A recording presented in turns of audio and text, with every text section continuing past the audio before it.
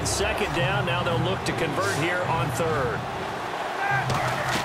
Back to throw. He's going to let it fly. And he's across for the touchdown, and it's likely the game winner here in the closing stages. How many practices we watched over